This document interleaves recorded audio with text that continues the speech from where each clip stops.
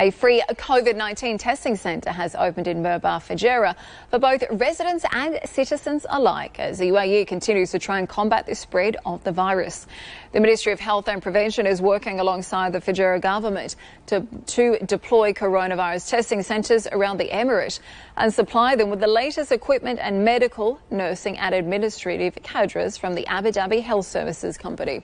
Today's inauguration was attended by a number of residents of Mirbah and neighbouring areas who all took COVID 19 tests.